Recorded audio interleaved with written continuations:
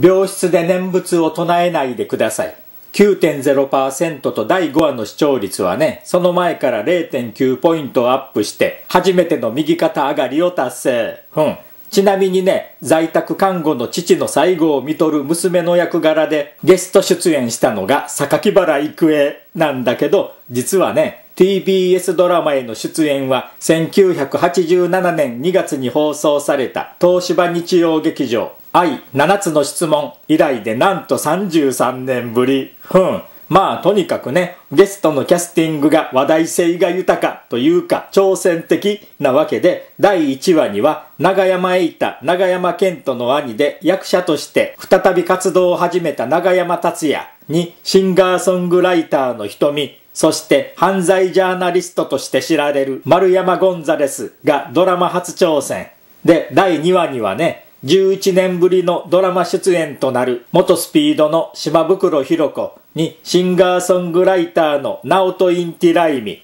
さらに第4話には元サッカー日本代表ゴールキーパーの本並健二までもがドラマ初出演。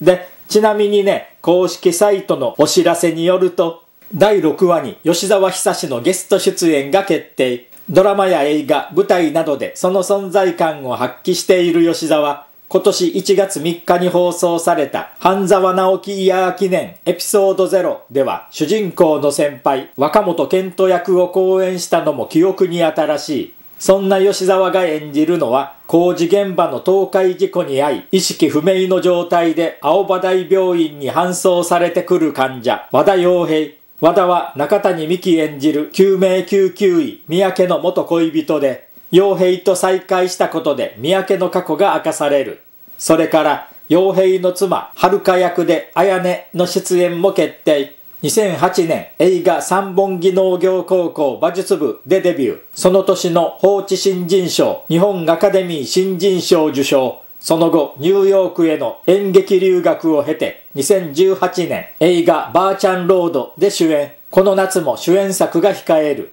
綾音の父はシンガーソングライターの長渕剛。2014年に芸名を長渕綾音から改名。映画舞台を中心に活躍を見せる綾音の TBS ドラマ出演は2014年10月期に放送された桜事件を聞く女以来約6年ぶりふん。で、ところでね、ウェブサイト日刊再造2月17日付ではこんな記事が俳優の伊藤秀明が2月13日に自身のインスタグラムに投稿した画像に対し、ネット上では何かあった時に使われそうな写真、薬を疑われる写真、これはやばい、といった声が飛び交っている。とある芸能ライターの話によると、主演ドラマ、病室で念仏を唱えないでくださいが放送中の伊藤は、そのオフショットを公開。明日はバレンタインデーと病室で念仏を唱えないでくださいです。素敵な金曜日をお迎えください。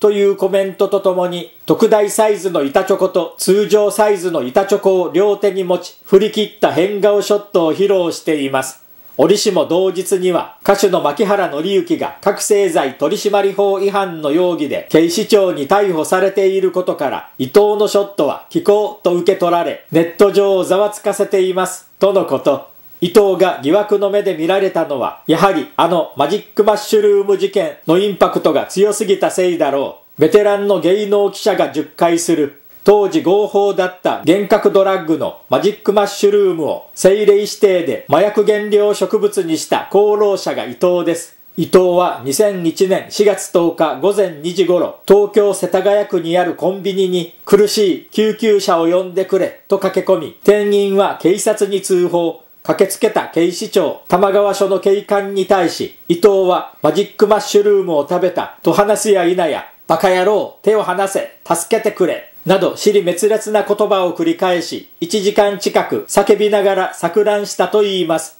伊藤は救急車で運ばれ、そのまま搬送先の病院で緊急入院となった。騒動の2日後、厚生労働省はマジックマッシュルームの取締り強化に動き出し、翌年4月に政令指定されました。病室で念仏を唱えないでくださいは視聴率が一桁と低迷しているため過去を蒸し返されるのを承知で決死の PR を試みたのかもしれないなるほどね。ふん。ということで、とにもかくにも病室で念仏を唱えないでください。これからもしっかりと見届けたいと思いますね。はい。